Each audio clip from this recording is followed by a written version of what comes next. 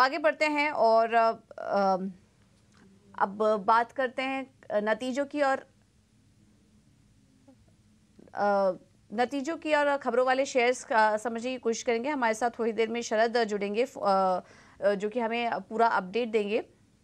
लेकिन उसके पहले एक बार देख लेते हैं कि कौन कौन से नतीजे कल आए। कल हमने बाज़ार बंद होने के बाद देखा कि एसबीआई के नंबर्स आए हैं। इसके अलावा टाटा मोटर्स के नतीजे आए थे, जो कि अभी शरद आप जुड़ेंगे तो वो आपको बताएँगे कि नंबर्स किस तरीके के रहे। तो आज नतीजों का भी इम्पैक्ट काफ़ी ज़्यादा देखने को मिलेगा बाज़ार में, क्योंकि काफ़ी ढेर सारे नतीजे देखने को मिले हैं। उसके अलावा खबरों वाले शेयर्स भी काफ़ी सारे हैं, जिसका कि इम्पैक्ट आज हम देखेंगे।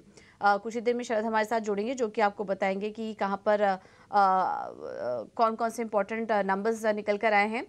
आ, लेकिन उसके अलावा अगर शुक्रवार के दिन देखें आ, बाज़ार का प्रदर्शन तो हमने देखा था कि आ, कुछ स्टॉक्स में शानदार तेज़ी देखने को मिली थी। इसमें ऑयल मार्केटिंग कंपनियाँ फोकस में थी बीपीसीएल जैसे आ, जो कंपनियाँ थी करीब 10 परसेंट की तेज़ी वहाँ पर देखने को मिली। Power grid 4 percent O N Adani ports NTPC में शानदार तेज़ी देखने को मिली थी। मैं कहने वाले शेयरों पर नज़र डालें तो Eicher, Axis bank H D F C life H D F C bank जैसे स्टॉक्स कमज़ोरी के साथ कारोबार कर रहे थे। ये कुछ नतीजे आए थे। शुक्रवार को बाज़ार बंद होने के बाद जिसमें कि एसबीआई के नंबर्स की अगर बात करें तो नतीजे अनुमान के मुताबिक ही देखने को मिले। ब्याज से आय करीब पाँच परसेंट बढ़ी, मुनाफा पैंतीस परसेंट घटा कंपनी का।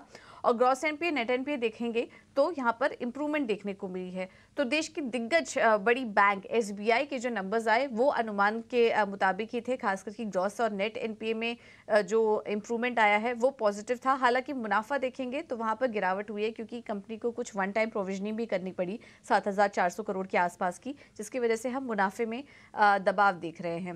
लेकिन on the face of it अगर देखेंगे तो नतीजे अनुमान के मुताबिक ही।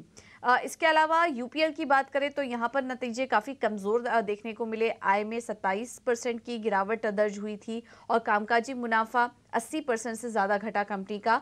और इसके अलावा इस बार भी कंपनी ने घाटा ही दर्ज किया करीब 1270 करोड़ का। तो ये कुछ अहम नतीजे और इसके अलावा टाटा मोटर्स भी देखेंगे तो वहाँ पर भी नतीजे स्ट्रांग ही देखने को मिल रहे हैं। तो ये कुछ मज़बूत आंकड़ों की हमने बात की टाटा मोटर्स यूपीएल और एसबीआई ये कुछ अहम नतीजे थे निफ्टी के जो कि हमने आपके सामने एक एक करके रखे। आ, लेकिन इन तीनों के अलावा और कौन कौन से नंबर्स आए और खबरों वाले शेयर्स कौन कौन से ये भी समझ लेते हैं। हमारे साथ शरद जुड़ चुके हैं। पूरा अपडेट लेकर। शरद बताइए एसबीआई यूपीएल और टाटा मोटर्स ये तो हमने कवर कर लिया। उसके अलावा कौन कौन से नंबर्स आए? जी, बिल्कुल इंडर ग्लोब एविएशन के नतीजे देखें तो सबसे अच्छे नंबर्स देखने मिले हैं और उनकी ईपीएस जो है हाईएस्ट एवर ईपीएस रिकॉर्ड की गई है। ऑफकोर्स याद रखिए एबिडा में जो है ऑफकोर्स एडजस्टमेंट के बाद 40 परसेंट का ग्रोथ जो है ईयर ऑन ईयर बेसिस पे देखने मिला और नेट प्रॉफिट भी डबल हो गई। तो अच्छे नतीजे आपको इंटरग्लोब एविएशन में देखने मिले हैं। अब बात करते हैं डिलीवरी की तो पहली बार पैट और एबिडा दोनों ही लेवल्स पे कंपनी प्रॉफिटेबल हो गई है और ओवरऑल जो वॉल्यूम्स है और रियलाइजेशन है, उसमें भी बढ़ोतरी देखने मिली है। तो स्ट्रॉन्ग सेट ऑफ़ नंबर्स आपको डिलीवरी में भी देखने मिल रही है। अब बात करेंगे टीटागढ़ रेल की तो यहाँ पे देखें तो नेट प्रॉफिट लगभग दोगुना हो चुका है और टॉप लाइन में भी अच्छी ग्रोथ देखने मिली। तो ये तीन जो है स्टैंड आउट अर्निंग्स हमको देखने मिले और तीनों ही स्ट्रॉन्ग सेट ऑफ़ नंबर्स आए हैं।